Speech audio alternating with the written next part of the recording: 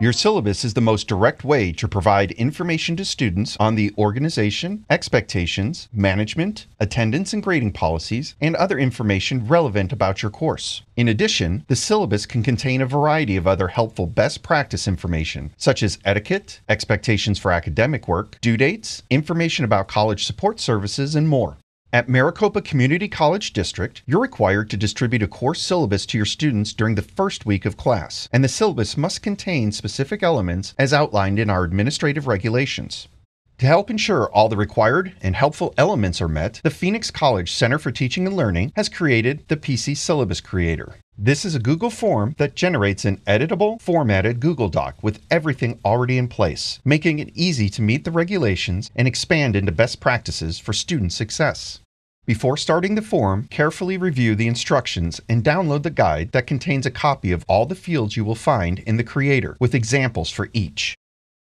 Once you gather materials, return to the form and select Next to begin. You must work through each section in order and you cannot save progress once you begin, so make sure you gather all the resources you need as outlined in the guide before using the Creator. With materials gathered, it will take approximately 30 minutes to complete the form.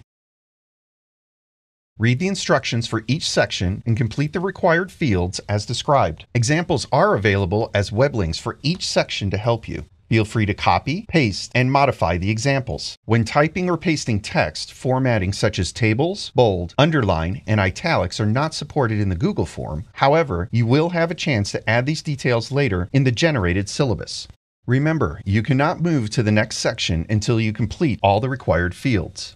Best practice and optional sections are marked throughout the Creator. Suggestions for why to include these elements with examples are provided. If you do not want to include an optional section, simply leave it blank.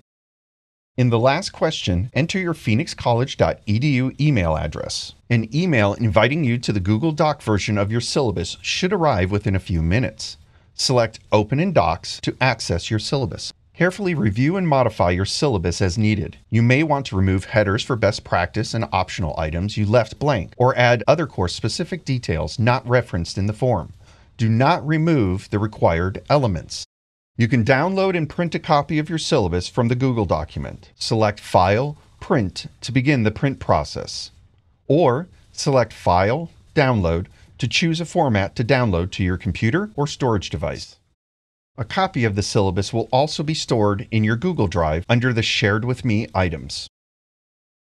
Remember, according to the administrative regulation, you must submit a copy of your syllabus to your department no later than the end of the first week of class, and it's as easy as sharing the Google Doc with them directly. In the Google Doc, click Share, enter your department chair's email, and make sure you set the drop down to Can View. Click Send, and you're done. For more information about the PC Syllabus Creator or other services of the Center for Teaching and Learning, visit our website or contact us via phone or email. We would love to work with you.